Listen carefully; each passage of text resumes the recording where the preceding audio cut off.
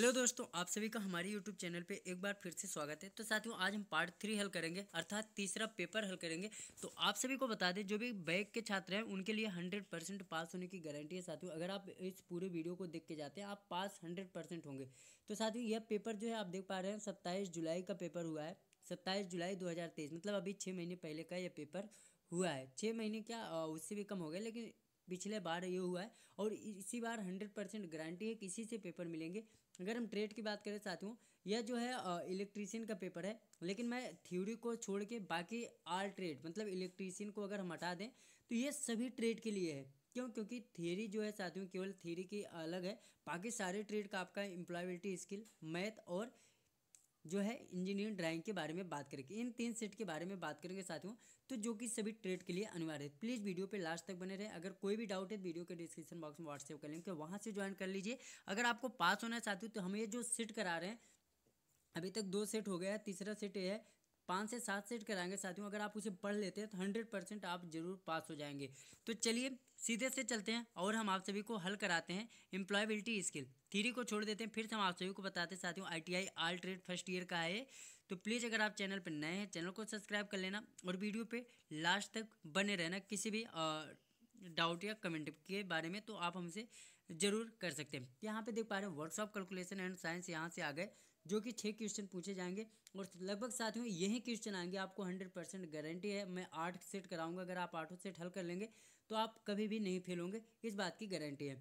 पहला क्वेश्चन है, इनमें से किस धातु के रूप में प्रमुख सामग्री में लोहा होता है? मतलब इन सारे जो भी यहाँ पे दिए गए हैं धातु, इसमें कौन सा है जिसमें लोहा पाया जाता है? तो राइट आंसर में साथियों, यहाँ पे पहले से लगा है, फेरस है। मतलब फेरस में जो है साथियों, लोहे का गुण सबसे ज़्यादा पाया जाता है, उसके जो मटेरियल पार्ट होते हैं, वो सबसे ज़्यादा पाए जाते हैं। किसमें? फेरस में, लोहे का। तो आगे चलते हैं, साथियों, और बच्चे ने भी जो मारा है, वो देख पा रहे हैं करेक्ट यही है, और बच्चे ने भी यही राइट आंसर बच्चे ने जो मारा है, वो क्या मारा है? ब्रोंज मार रखा है। तो राइट आंसर कौन सा है? वो है फेरस। जल्दी जल्दी चलते हैं, और आप सभी को बताते हुए चलते हैं। क्वेश्चन नंबर दो है, यहाँ पे आप देख पा रहे हैं। क्वेश्चन नंबर दो क्या है? दो है, किनवे से मूलभूत इकाइयाँ कौन सी है? इकाइयाँ मूलभूत कौन सी है? तो ये है साथियों, ये सबसे इजी क्वेश्चन है लेंथ मास और टाइम सबसे इंपॉर्टेंट क्वेश्चन है जो कि पूछे गए और बच्चे ने कौन सा मारा था? वो ये मारा था। तो राइट आंसर ये है। चलते हैं अगले क्वेश्चन पे बात करते हैं। अगर आपको किसी भी प्रकार से डाउट है तो आप हमसे कमेंट बॉक्स में ज़रूर कर सकते हैं। अगला साइन थीटा किसके बराबर होता है?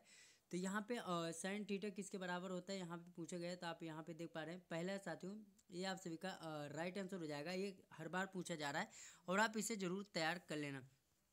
चलते हैं अगले क्वेश्चन पे बात करते हैं। अगला क्वेश्चन है, साथियों, एक आयत का परिमाण क्या होगा जिसकी लंबाई बीस और बीस सेंटीमीटर व अठारह सेंटीमीटर है? तो इसका परिणाम क्या होगा? तो छिहत्तर सेंटीमीटर होगा राइट आंसर ये है। और जबकि बच्चे ने गलत मार रखा है। चलते हैं क्वेश्चन नंबर पाँच पे बात करते हैं। क्वेश्चन नंबर पाँच है, साथियों ज़ीरो दशमलव four five six decimal fraction into percentage मतलब ज़ीरो दशमलव चार पाँच छः को किसमें करना है? भिन्न में बदलना है।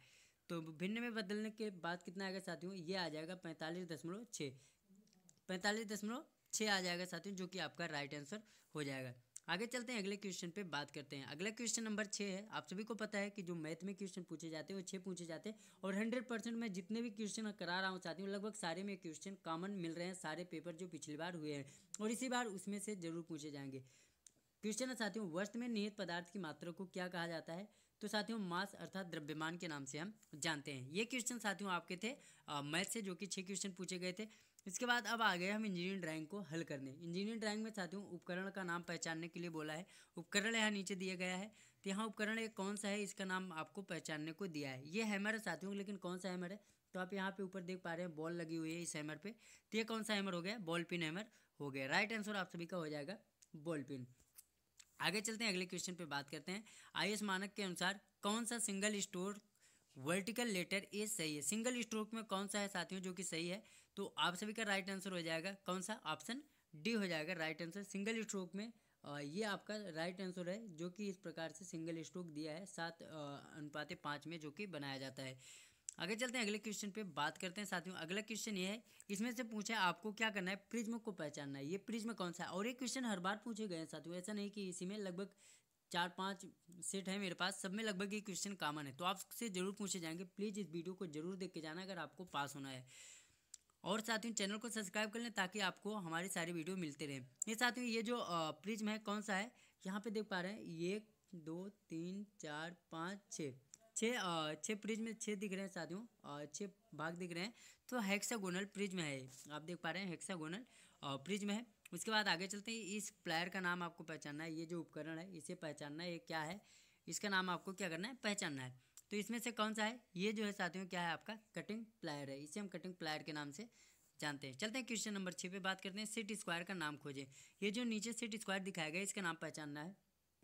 तो साथियों, आप सभी को मैं बता दूँ, ये क्वेश्चन लगभग तीन से चार सेट हुए हैं सब में मैंने इसे देखा तो ये महत्वपूर्ण क्वेश्चन है। ये साथियों यहाँ पे देख पा रहे हैं, यहाँ पे देख पा रहे हैं, पैंतालीस पैंतालीस का है और यहाँ पे नब्बे का है। तो पैंतालीस पैंतालीस का नीचे में भी सेम है तो पैंतालीस का सेट स्क्वायर है, कहा जाएगा। तो ये आपका राइट आंसर हो जाएगा पैंतालीस अंश का। आगे चलते हैं, अगले क्वेश्चन पे बात करते हैं। क्वेश्चन नंबर छः साथियों। ये जो टाइटल ब्लॉक देख रहे हैं, इसमें बोला है कि टाइटल ब्लॉक कौन सा सही है? जब भी हम ड्राइंग बनाते हैं ड्राइंग बनाने के बाद साथियों, उसके ड्राइंग के सभी चीज़ों को लिखने के लिए हम टाइटल बार को बनाते हैं। तो टाइटल बार को कौन सा सही है, उसको आपको बताना है। तो टाइटल ब्लॉक जो है साथियों, कुछ इस प्रकार से बनता है, जो आपका ये दिखाया गया तो राइट आंसर आपका बी हो जाएगा। टाइटल ब्लॉक कुछ इस प्रकार से होता है, जिसमें हम ड्राइंग की पूरी डिटेल को जो है, लिखते हैं टाइटल ब्लॉक तो आई होप सारे क्वेश्चन आपको समझ में आए होंगे साथियों। ये बहुत ही महत्वपूर्ण क्वेश्चन है, ये ज़रूर से ज़रूर पूछे जाएँगे। और अगर ना पूछे जाए तो फिर आप हमें कमेंट बॉक्स में कहना कि, सर, नहीं पूछे गए। हंड्रेड परसेंट पूछे जाएँगे। अब हम बात करेंगे एम्प्लॉयबिलिटी स्किल के जो पच्चीस महत्वपूर्ण क्वेश्चन है, उसके बारे में। देखिए वीडियो बहुत लंबा हो जाएगा, इसीलिए मैं जल्दी जल्दी बताता चल रहा हूँ। और पीछे के दो वीडियो मैंने बनाया उसे भी आप ज़रूर देख लेना। आगे चलते हैं, अगले क्वेश्चन पे बात करते हैं। जब आप किसी व्यक्ति से बात करते हैं तो आप क्या करते हैं, जब आप किसी से बात कर रहे हैं तो आपको क्या करना है, व्यक्ति को मित्रतापूर्ण तरीके से देखना चाहिए, ताकि सामने वाला भी आपको सही रूप से देखे और आपको बातों पर जो है ध्यान दे। अगला क्वेश्चन है, ग्राहक के सुझावों और समस्याओं को जानने के बाद क्या कार्रवाई करनी चाहिए? जब आप ग्राहक और जो भी आप कस्टमर है, आप उनके जाएँगे बीच में उनके, उससे उनके बारे में पूछेंगे तो आपको क्या करना चाहिए? वो ये है, क्या है, पूछे, वर्गीकृत करें अनियम अनुवर्ती कार्रवाई, ये आपका राइट आंसर हो जाएगा। और साथ में यही क्वेश्चन है जो आप पीछे भी देखेंगे, इसमें से बहुत सारे क्वेश्चन देखेंगे कि जो कि अलग भी पेपर में आए हुए हैं। तो प्लीज़ इसे तैयार करके जाना हंड्रेड परसेंट इसी से आएगा। कार्डिनल नंबर पूछा है तो कार्डिनल नंबर कौन सा है साथियों इनमें से? तो कार्डिनल नंबर जो है, एक माना जाता है। आगे चलते हैं, अगले क्वेश्चन पे बात करते हैं। अगला क्वेश्चन है साथियों, यहाँ पे आप देख पा रहे हैं एम एस एक्सेल में सेल एक सूत्र इंसर्ट सम्मिलित करने के लिए हमें प्रविष्ट को एक ऑपरेटर के साथ शुरू करनी चाहिए। कौन सी है साथियों? वो जो है आपसे पूछा गया है। तो ये जो राइट आंसर दिया गया है इक्वल टू जिसे हम बराबर के नाम से जानते हैं, ये आपका राइट आंसर हो जाएगा ऑप्शन डी चलते हैं अगले क्वेश्चन पे बात करते हैं। क्वेश्चन नंबर पाँच है साथियों कॉपी कमांड के लिए शॉर्टकट की क्या है? बहुत ही ईजी क्वेश्चन है, लेकिन सबसे ज़्यादा बार पूछा जाता है जब भी हम किसी लिखी हुई चीज़ को कॉपी करते हैं तो क्या कमांड करते हैं? तो कंट्रोल प्लस सी दबाते हैं तो हमारी चीज़ कॉपी हो जाती है कंट्रोल प्लस भी करते हैं तो पेस्ट हो जाती है कंट्रोल प्लस सी करते हैं तो चीज़ कट हो जाती है। ये सारे इंपॉर्टेंट क्वेश्चन हैं जो कि पूछे ही जाते हैं। अगला क्वेश्चन नौकरी या काम में होना। क्या कहलाता है? साथियों, अगर आप नौकरी कर रहे हैं या काम कर रहे हैं तो वो रोज़गार के अंतर्गत आता है। चलते हैं अगले क्वेश्चन पे बात करते हैं। अगला क्वेश्चन है, सक्रिय आवाज़ कौन सा है? इनमें से जो सक्रिय आवाज़ है मतलब जिसे हम क्या कहते हैं साथियों? एक्टिव वॉइस वो कौन सा है? तो वो ये है, Ram has pass the exam. जिसमें साथियों बाई लगा हो, वो सारे जो है पैसिव वॉइस के अंतर्गत आता है। आगे चलते हैं, अगले क्वेश्चन पे बात करते हैं। अगला क्वेश्चन है, साथियों, क्रिया का सही काल चुने। इसमें जो है क्रिया दिया गया है, ये जो क्रिया दिया गया इसमें सही आपको काल चुनना है मतलब जो आप यहाँ पे फॉर्म भरा जाएगा, कौन सा फॉर्म भरा जाएगा तो यहाँ पे जो है लर्न भरा जाएगा। I learn music when was child आगे चलते हैं, अगले क्वेश्चन पे बात करते हैं। C P U consist of मतलब सी पी यू जो है साथियों, क्या होता है मतलब सी पी यू में क्या होता है, ये सारी चीज़ है। सी पी यू को हम किस नाम से जानते हैं? ये सारी चीज़ों के बारे में आपको जान लेना है। तो सी पी यू के बारे में ज़रूर जो है पूछा भी जाता है। तो क्या हो जाएगा? ये आपको बताना है। तो सीपीयू को हम किस नाम से जानते हैं? Controller control unit and A L U control जो सी सीपीयू होता है, उसमें क्या क्या मिलके बना होता है तो ये सारी चीज़ें आपको ध्यान में रखनी है और इस सीपीयू का फुल फॉर्म भी पूछा जाता है। आगे चलते हैं, अगले क्वेश्चन पे बात करते हैं। अगला क्वेश्चन आप यहाँ पे देख पा रहे हैं। क्वेश्चन नंबर नौ है। सीपीयू जो कि अभी हमने बात कर लिया क्वेश्चन नंबर दस पे आते हैं साथियों। क्वेश्चन नंबर दस क्या है, उसके बारे में जानते हैं। तो क्वेश्चन नंबर दस है यहाँ पे देख पा रहे हैं, जब आप एक शिक्षक या प्रशिक्षक या आप अपने बड़े अधिकारियों को मिलते हैं तो इनसे क्या करते हैं? तो साथियों, ये क्वेश्चन बहुत इंपॉर्टेंट है। कई सारे मेरे पास जितने भी प्रश्न है, लगभग ये एक क्वेश्चन ज़रूर है उसमें। तो गुड मॉर्निंग या गुड इवनिंग जो भी समय रहेगा, हम उनके अनुसार उसे अभिवादन करते हैं। जब हम अपने बड़ों से मिलते हैं हाय हेलो हाय ये हम कब बोलते हैं? जब अपने से साथ या छोटे वाले होते हैं तो हम बोलते हैं। इसे ध्यान में रखना है आपको। अगला क्वेश्चन है, क्रिया के वर्तमान प्रगतिशील काल के साथ रिक्त स्थान को भरना है। The train dot dot through the tunnel तो वहाँ पे क्या रहेगा? इज़ पासिंग यहाँ पे क्या लगेगा साथियों? इज़ पासिंग आगे चलते हैं, अगले क्वेश्चन पे बात करते हैं। क्वेश्चन नंबर बारह है, लक्ष्य दो प्रकार के होते हैं। कौन कौन से होते हैं? Long term and short term goal. ये आपका राइट आंसर हो जाएगा। अगले चलते क्वेश्चन पे बात करते हैं। क्वेश्चन नंबर तेरह है। दिए गए प्रश्न को सही प्रतिक्रिया चुने। यहाँ पे आपको सही प्रतिक्रिया जो है चुननी है।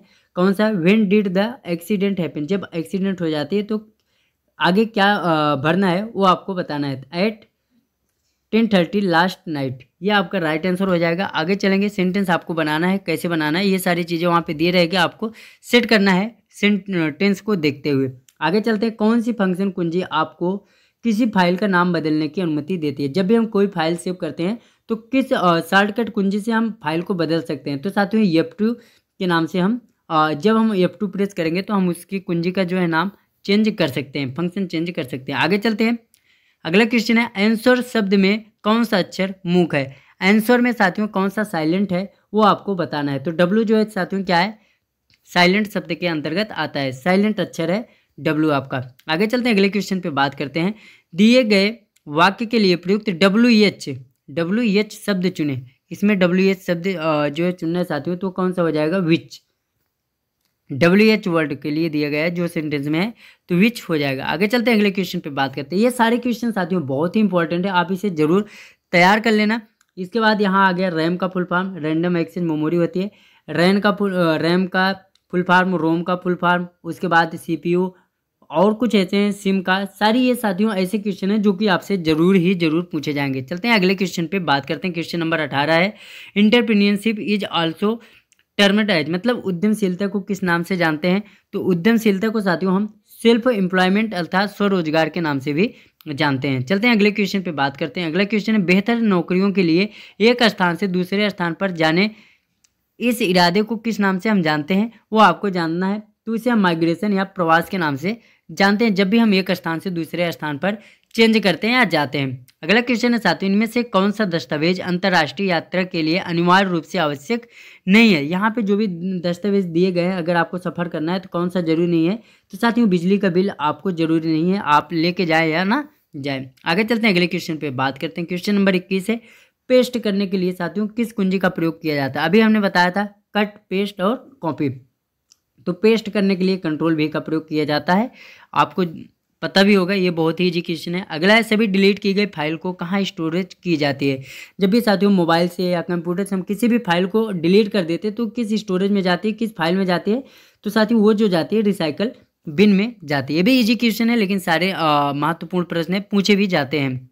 अगला क्वेश्चन है डॉट डॉट है। टैब का उपयोग चार्ट ग्राफ इमेज व पेज नंबर को वर्ड फ़ाइल में डालने के लिए किया जाता है। तो किसका प्रयोग किया जाता है? साथियों इंसर्ट टैब का प्रयोग हम करते हैं। आगे चलते हैं क्वेश्चन नंबर चौबीस पे बात करते हैं साथियों। क्वेश्चन नंबर चौबीस है, माल के उत्पादन में लगे उद्यमों को किस नाम से जानते हैं? तो इसे हम विनिर्माण उद्यम या मैन्युफैक्चर मैन्युफैक्चरिंग इंटरप्राइजेस के नाम से जानते हैं। चलते हैं क्वेश्चन नंबर पच्चीस पे बात करते हैं साथियों। क्वेश्चन नंबर पच्चीस है, क्रोधी व्यक्ति की बॉडी लैंग्वेज होगी।